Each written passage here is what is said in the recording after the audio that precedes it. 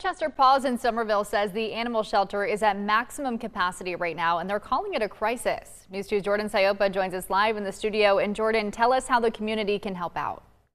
Aaron, hundreds of animals at Dorchester Paws are in need of a place to call home. Now, the staff says they're at maximum capacity and they're urging the community to step up and help, whether that's through adoption or fostering.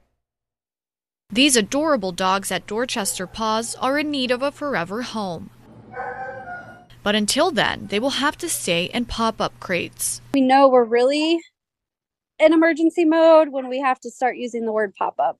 So we have the metal wire crates that we pop up in every available area of the kennel. April Howard is the director of shelter operations. She says overcapacity has been a problem all year, but over the last two weeks, they've really been feeling the pressure. Dorchester Paws is calling on the community to help these dogs out either by adoption or foster care. We cannot continue to save the lives of these animals if, if the community doesn't step up and, and be the support that the shelter needs um, to get the animals out. Howard says Dorchester Paws only has 75 long term dog runs, but over 100 animals currently living on campus. They've tried to stop the intake process, but as the county's only shelter, it's nearly impossible. We kind of just go into this mode of finding out for them no matter what.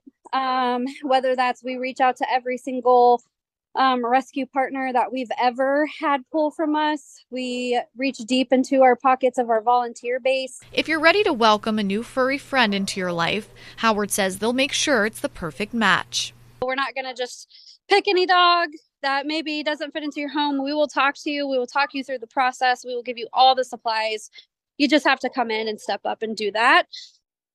The shelter is open every day from 12 to 5. If you can't adopt or foster, Howard says they're also in need of volunteers. Adoption fees for adult dogs will be waived today through Sunday.